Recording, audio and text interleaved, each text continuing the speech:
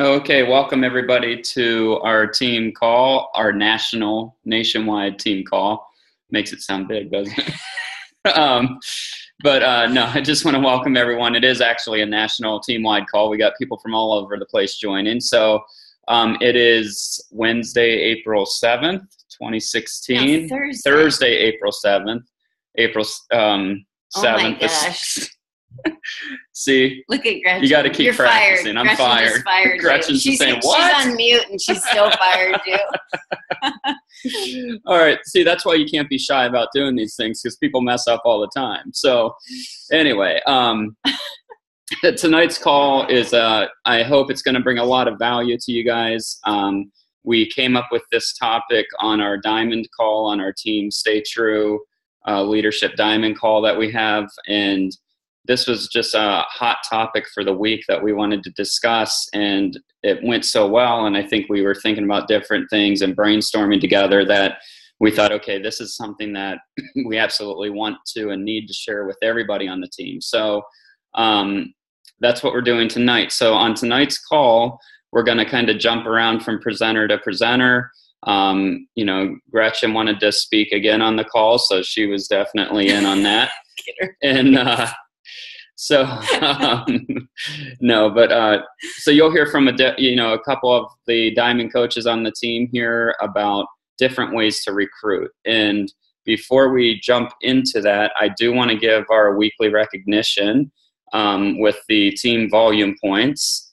And um, so this was for last week. And again in order to make this list i know i repeat this every week but there's new people jumping on the call all the time and listening. So in order to make the list that i'm about to go over and recognize you have to have 100 team volume points in your um, business center for the week before so the week that ended yesterday um, is are the people that i'm recognizing today um, so leading the way on the team was Beth Akins with 645 points. So awesome job, Beth.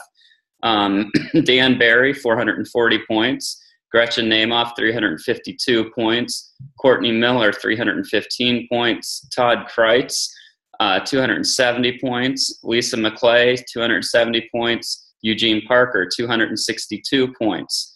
Christine Schwartz, 225 points. Kieran Stout, 220 points. Uh, Glenn Akins, 195 points. Alicia Kelly, 189 points. Miss Beto Walker, 187 points. Jessica Meg, 180 points. Lindsay Fleming, 180 points. William Bronlich, 170 points. Holly, wow, Holly Badalamenti, Yeah. 160 points. Tina Sparks, 160 points. Rachel Wacker, 135 points.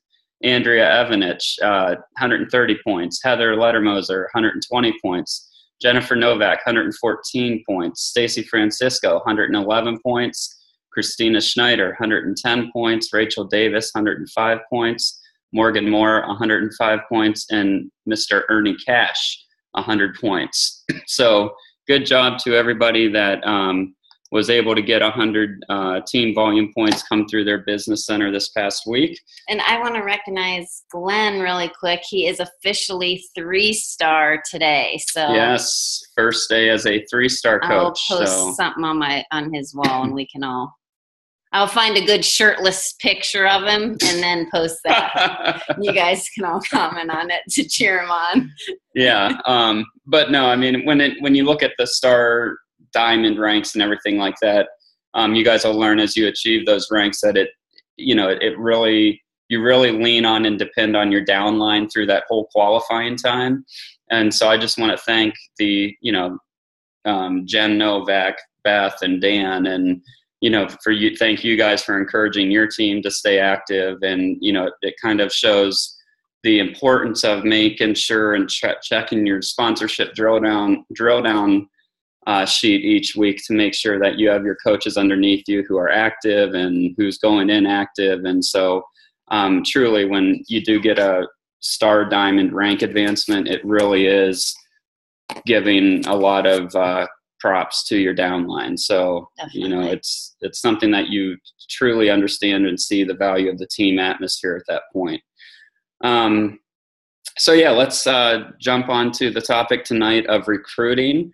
And uh, basically, I'm going to start off just by saying that you know there's we hold a lot of team events where you guys can pull people in and, and invite people to these events uh, to help you guys recruit. Um, we have our team sneak peeks, so it's you know we kind of call it a backstage pass, sneak peek. You know we use those terms pretty loosely and overlap one another, but um, if you haven't been on that, that's usually we hold those on Sunday evenings. Um, or if we have a group of people who are ready to go and want to see it prior to waiting until Sunday, we'll run one. Um, but it's an hour long. It's in an event, a Facebook event format where people join and um, the coaches who have people on that call will go ahead and um, be on a Zoom call and answering the questions and things like that. So we try to make it as interactive as we can. I always look at that as kind of a non threatening way to invite people because we don't see them. The only way we know that they're there and that they exist and they're tuning in is if they are commenting and asking questions or liking posts. So, um, you know, you can always say with confidence or tell them that, you know, you're not on a video, you're not on a phone call. You can sit there and do it, you know, without us even really knowing you're there. Um, challenge group participants, that's another key way to recruit.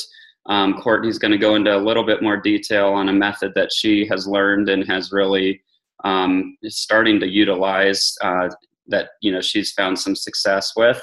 Uh, doing three-way calls. I don't do many of these, but you know that is an effective way of um, recruiting. If you guys are newer coaches, or um, even if you've or you're a seasoned coach and you're just a little nervous about this prospect and you want to have someone from your upline be on the call with you i'm i'd be more than happy to jump on a three-way call i know beth would i know a lot of the you know gretchen and courtney I, all of us probably would so I, i'd just say just call somebody text somebody see if we're available um, and that's a great way to get questions answered things like that um, asking your new coaches to give you their list of five to 10 people who they think might be good coaching prospects.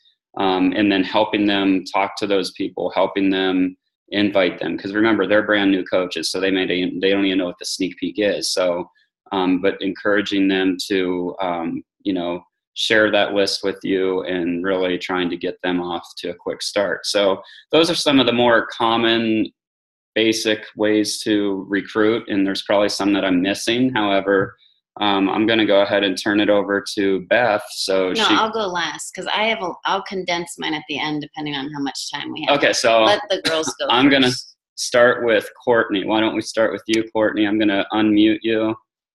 Okay, you're unmuted. Go ahead. Okay, so something I've just started trying and it's working for me is um, we know that the best coaches come from people who have had success in challenge groups. So when I'm about halfway through my challenge group, I will kind of reach out to someone who I think would be a good coach and just say, hey, you know, on Wednesday, I've got a really busy day. Would you mind kind of filling in as a coach for the day type thing? I'll give you the post and all the information. It's real simple, you know, just comment on anybody that posts in there and, and encourage them. And so, you know, that gives them the opportunity to give it a try and they kind of see how exciting it can be when people are having progress and there's encouragement. Um, and something else I'm doing, I'm going on vacation next week. And so I'm actually going to be off the grid for about five days and reached out to a few girls in our current group and just said, hey, um, I'm not going to be around. Can you guys handle this? And they were more than excited to help. And so um, those are the people who, as soon as I get back from vacation, I'm going to start talking to about really uh, working the business and becoming coaches. So that's something I'm trying. Um, it doesn't mean you, you know, aren't available. You just, you might be a little busy that day. So let someone else kind of jump in, and see how they like it. And I would even add to that too, Courtney. Like some of them I've found even if you you don't even have to give them the post but you could say you know what all you have to do is find like one of your favorite motivational posts or one of your favorite recipes and then you know because some of them they love coming up with it even on their own so i mean depends on how confident they are but that would be another avenue. Yeah.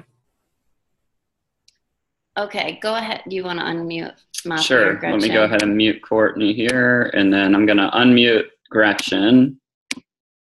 All right, Gretchen, you're on. Um, one of the things that I've been doing is getting my challengers, getting my challengers right like at the beginning. Um, the ones that are posting a lot, and I plant the seed right away.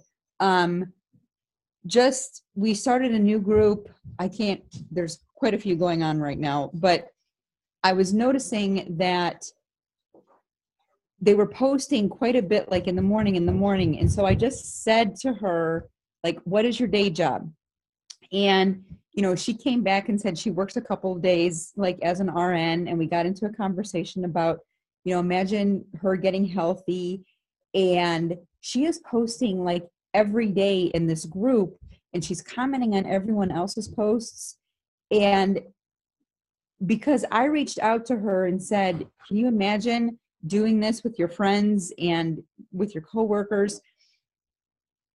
She is grateful and she's like i never thought about doing it that way but can you call my friend? She wants a three day refresh.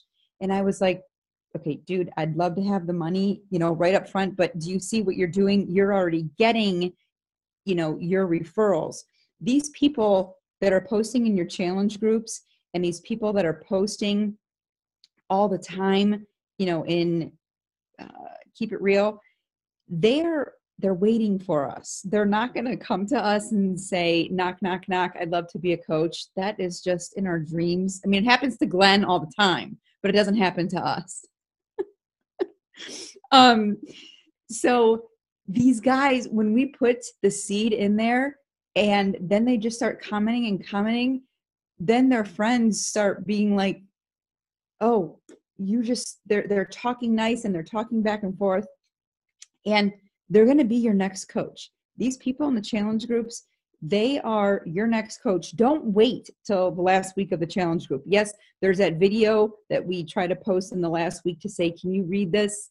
Or can you watch this and you know let me know what you think? That's great and everything. But if you get them at the beginning and this is just kind of new i did it just a couple months ago but if you get them at the beginning of the challenge group as they're going they're more likely to join in and grab people before the challenge group is even over and they're ready to fly and start their new one um, so i talked about planting the seeds last time this is nothing new to you guys so grab them early on in the challenge groups don't wait till the end of the challenge groups All right. Thank you, Gretchen. How about Moppy? Let me unmute you. Hold on. Okay, you're unmuted. Okay, so um, I just thought I'd talk to you about what I struggle with. I am, um, first of all, I am, when I offer the opportunity to coaching, I'm pretty good about offering it when it comes to saving money and getting the discount. And if you're drinking Shakeology, it's not a no brainer really to be a coach and uh, get the discount but um, in the area where I struggle with is um, when I heard uh, some of my friends say, you know, they wanted to get a second job or they were thinking about doing extra hours at a store. Um, and those opportunities, I totally missed them because, um, or I didn't take advantage of them at the time because I was scared. I was scared of saying, hey, I have this great opportunity that you actually could make more money than doing extra hours at a store and you can do it from the comfort of your own home and you don't have to um, you know go anywhere. You can do it whenever it's uh, best for you. You can work around your schedule. And um, with the help of uh, other successful successful coaches on the team i've been um, getting out there and just mentioning it and being proud of what i do.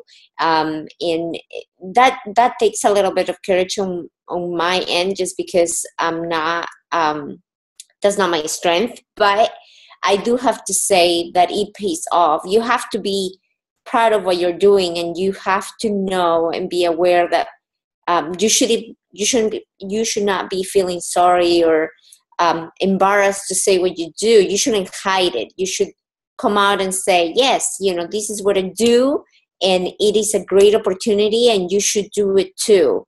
You don't have to vomit all that information on what beachbody coaching is about but you like gretchen said, said you have to like plant the seed and uh, maybe just make them a little bit um, you know curious about what you do uh, and then just have that conversation with them about the opportunity. So that's just my two cents Yeah, that's awesome, Moppy. Thank you. And this this whole call idea was Moppy's idea. Like in our mastermind call, every we each pick a topic. So this was hers, and we're glad she brought it up because it made us all kind of dig into um, things we do now and things we could be doing. So I I like took I've just been taking a bunch of notes as I've watched other top coach videos and things. So I'm just going to share with you guys kind of this is probably freaking Glenn out because instead of a PowerPoint, it's like two notebooks. I don't get but it. the one thing I read that I loved was when you're sharing this, so we call it recruiting, but recruiting t- tends to give like a boss or uh, like I'm a superior and I'm recruiting people under me. But if you if you think of it as sponsoring new coaches on your team, sponsoring to people that you're bringing on sounds like more of a coach mentor friendship kind of thing. So i really liked that wording. Um, and also i think it's good to remember to like change our language. So in, when i'm posting on my wall i'm not usually saying i. If i'm talking about the team or you know people joining us i say we because i really think of all of you guys. Like team stay true. It's not gl- just glenn and i now thank i mean it was glenn and i and now i'm like thankfully we have this whole team of really awesome people. So definitely like use that. Say our team or we or like if you're talking to a coach prospect excuse me go ahead and like kind of assume the almost like assume the sale and if it's a challenge group participant you can say i can't i'm so excited. I can't wait for you to be texting me you know 10 days into our challenge group and telling me how great you're going to feel. Or if it's a coach um, i can't wait to introduce you to into my team page. So you can meet everyone and um, see how supportive they are. So i definitely agree with what moppy said. Like you have to be passionate about this. If you're iffy about it about the business or and same goes for the products. If you're iffy about it people feel that. Like if you're not confident i mean if someone asks me about shakeology i'm not going to say oh yeah it's good. I mean i know we have a lot of you know there's a lot of other good ones out there. No i'm like yes shakeology is awesome. If you want to maximize your results you got to try it you know? So believe in it and believe in the opportunity too. So one thing i was listening to a call last week and she said and this was from a this was from i think bonnie engel. She said if you if i was to go to all of your pages now and just kind of scroll through as like a random person not as a coach on your team would i know what you do? So when you think of post, posting about your coaching opportunity we need to be posting about coaching one time a day or four to five times a week. And that doesn't mean you know, like I'll invite to the coach sneak peek. Okay, that's one time. But maybe like this morning I posted um, something about like being in my pajamas still after I got everyone off to school and I hadn't worked out yet. But like that was my choice. That's what's so awesome about being my own boss. So just little like snippets about coaching and why you like it, why um, why it works for you. Um, the other thing that I thought was an awesome suggestion was handling objections right on your page. So, say you post like you're holding your Shakeology and you're saying, awesome, healthy meal on the go. If someone then comments on there, like, yeah, but Shakeology is so expensive, go ahead and handle some don't just don't just think oh i'm just going to message them privately or if they ask you a question about your challenge group go ahead and do some of that interacting right on your page because people are watching and you may you know they they they may not see the post or they may not actually like the post so you know that they've seen it.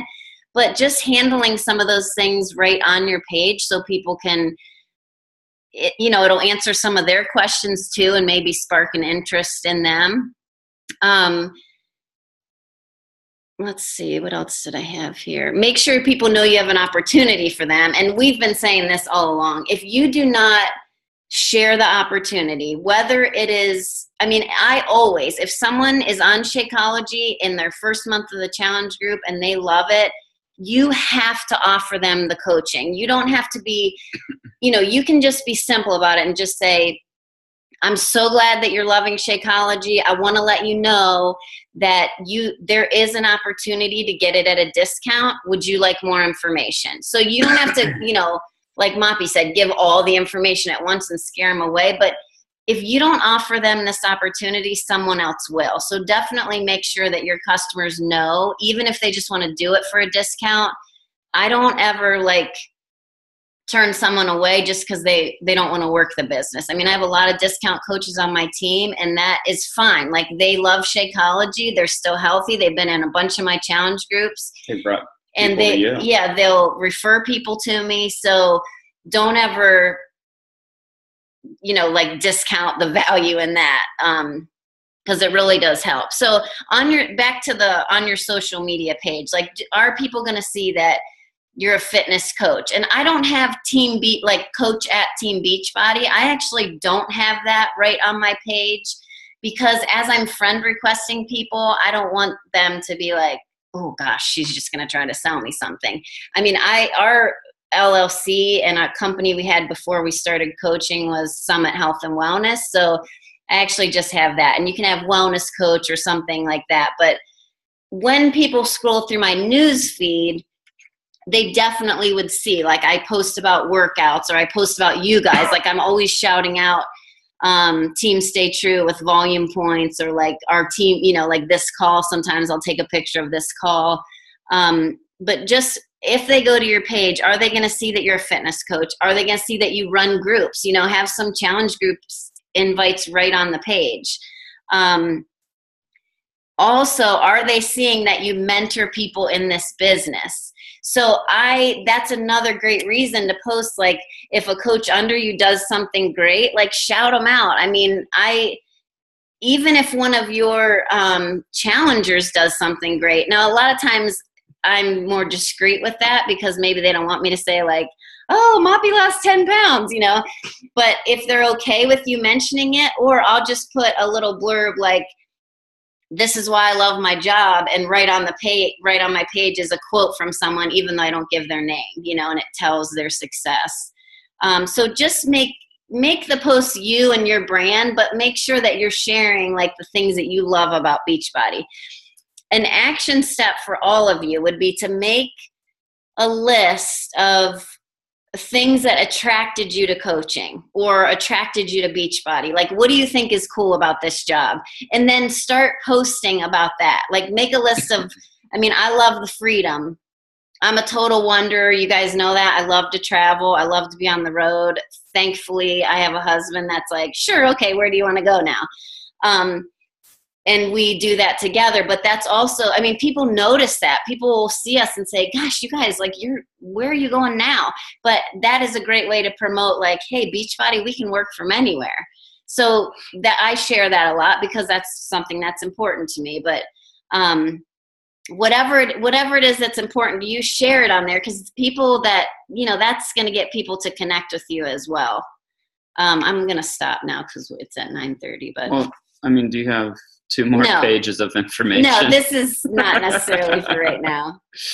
But I think the biggest thing is like if you believe in this, then post about it and be excited about it, be enthusiastic about it, and don't be afraid to share it in unique ways like a funny story and then this is why i love my job or you know it doesn't have to be you're invited to our next next coach sneak peek or unless you're red then yeah then it will be so well, yeah. but that's what I mean. Everyone's different and and that's why we say like that is the awesome thing about a team because like Moppy's going to reach people in a different way than I am. Different people are going to be attracted to her than they are to me. Gretchen's going to reach different people. Glenn's going to reach different people. So the bigger we are, I mean, our main purpose here is to help as many people as possible. And the bigger our team is, the more people we're going to reach. Right.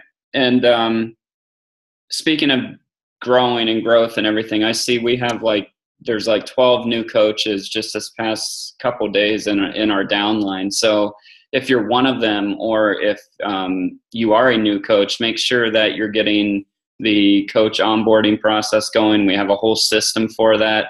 Um, I this is my first time seeing Nick on the call, so welcome, yeah, Nick. this is his first week. Uh, Awesome. Um, but you know, I just like to make sure that you know, keep in mind there's a lot of people coming on board. Make sure you're getting the um, onboarding process, the emails to them. Make sure they're doing the personality test. As weird and crazy as that seems, I know if I was told that when I first joined a team, I'd be like, "What in the world's this personality test?" But it it's awesome. It'll help us all be able to relate to each other better. Um, so even if you're a seasoned coach or a veteran on the call here, I would say if you haven't done the personality test, then make sure you do that. yeah. Um, if you haven't gotten some of that info, Nick, then message one of us and we'll help you. Um, sure. You know, we'll help get those initial emails to you too. Yeah. All right. Well, I'm going to open it up to uh, Q and A. If you need to jump off because it is 9:30, feel free. We won't be offended by that, um, unless it's Gretchen. She needs to stay on the call with us. So um, she has to go to bed. I know that's why I purposely pointed her out that she needed to stay. So um, give me one second here, and I'm going to unmute all. All right. So everyone's unmuted. Any calls or any questions? Uh, go ahead and raise your hand. Mhm. Dan, I had to mute you, Jennifer. You were uh, giving a little feedback. so just raise your hand. Yeah. Any questions? All right. Well, Beto's shaking her head no, so it's time to go. I gotta read my girl code. Yeah, So I mean, we don't want to uh, interfere with that. yeah, I- I've got to read that too. So Well, I told Glenn he should read it and just, you know, think of it in manly terms. We could do that. With his booty shorts on? booty shorts. what Moppy, can you pictures borrow- did you show her? No, I. Uh, yes, I need to give you your turbo fire shorts. The turbo Oh, fire. the turbo fire shorts. Yeah, yeah. Let's do that. Stop the recording. All right.